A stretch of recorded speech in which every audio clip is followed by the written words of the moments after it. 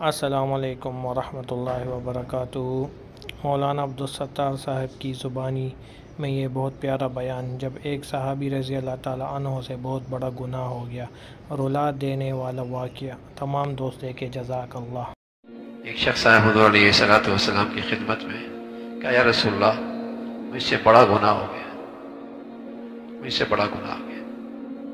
मुझ पे हद जारी फरमा दिया, हद जारी फरमा एक हद तो वो थी जो खैर शादीशुदा की थी। जिना की हद। वो है कोड़े। कोड़े। और एक शादीशुदा जानी है, उसकी हद क्या है? पत्थरों से संसार करना। अब ये शख्स आएगा, या रसूल्ला मुझ पे हद जारी फरमा दे। बड़ी हिम्मत की बात। है पता भी है जान चली जाएगी। पता भी है जान चली जाएगी। और दुनिया देखेगी जब मुझे पत्थरों से मारा जाएगा। लेकिन आखरत की फ़िक्र अल्लाह ने ऐसी अता फरमाई है कि तोबा से गुनाह तो माफ़ होता है, लेकिन जब मैं चाहता हूँ कि मेरी तोबा मुकम्मल हो और मुझ पे हद भी जारी हो, ताकि कल बार गाय खुदा शर्मिंदगी ना उठानी पड़े। बड़ा दिल गुर्दा है, बड़ा हौसला है। गलती तो बड़ी से बड़ी भी हो जाती है। और बड़े से बड़े ईमान वाले से भी हो जाती है। लेकिन ईमान की निशानी ये होती है कि बड़ा ईमान आदमी को गलती पे रहने नहीं देता। गलती तो बड़े से बड़े वली से भी हो जाती है और बड़ी से बड़े सहब ईमान से भी हो जाती है। हो जाएगी बशर तकाजी की वजह से। क्या रसूल मुझ पे हद जारी कर दे। अल्लाह के नबी सल्लल्लाहु अलैहि वसल्लम ने पहले तो उसे टाला, तवज्जो नहीं दी।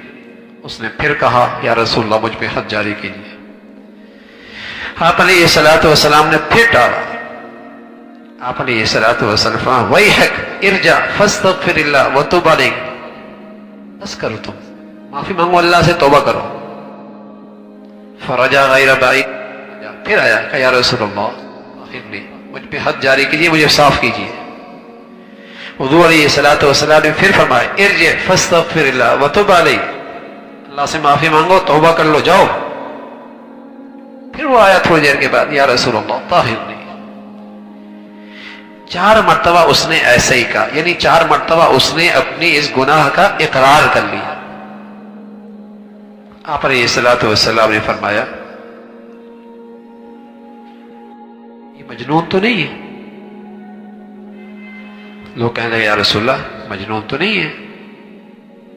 फरमाया, अशरीब खमर, इसने शराब तो नहीं पी हुई? कह रसुल्ला हमने तो कभी इसके मुँह से शराब की बू नहीं देखी। आपने फरमाया अजना ही था, तूने जना किया? तो कौल नाम। कह रसुल्ला जना किया आपने फरमाया, शायद तूने बोझ लिया हो, शायद तूने हाथ लगाया हो, सिर्फ़ तूने नज़र रख डाली हो। कहा या रसूल अल्लाह ऐसा नहीं है। उसने बार बार इकरार किया। जब आपने वजाहत मांगी तो उसने वजाहत की। पूछा, अल हसन तो शादीशुदा है? काला, नाम, जी, मैं शादीशुदा हूँ। अब अल्लाह के नबी सल्लल्लाहु अलैहि वसल्लम ने हद की हुक्म जारी फरमाया, रजम का। अब उसे लोग गए। कोई गिरफ्तारी नहीं, पुलिस नहीं। लोग साथ चल रहे हैं। ये साथ साथ चल रहा था। और एक मैदान में बांधा बांधा कुछ नहीं, बांधा भी नहीं, और लोग उसे पत्थर मार रहे हैं, पत्थर मार रहे हैं, संसार कर रहे हैं। हद एक ऐसी चीज़ है, नबी भी उसे माफ़ नहीं कर सकते। अगर गवाही पूरे तौर पे आ जाए, गवाह कायम हो जाए, या खुद कोई आदमी चार मरतबा गवाही दे दे तो नबी भी उस हद को माफ़ यहाँ तो ये शख्स तोबा के लिए ऐसी तैयार है का या रसुल्ला रजम कीजिए, सजा दीजिए, मुझे पाक कीजिए। पत्थर मारे गए। और पत्थर जब मारे गए तो कुछ छींटे एक शख्स के ऊपर पड़ी। तो उसने बुरा भला कहा। सलात वसलाम ने फरमाया लकत्ता बतो बतन लो कुसिमत बैन उम्मा। लवसात हो। पता है इसने कैसी तोबा की है? अगर सारे मदीना के गुनागारों पर इसकी तोबा तकसीम की जाए तो अल्लाह सबको माफ़ कर दे।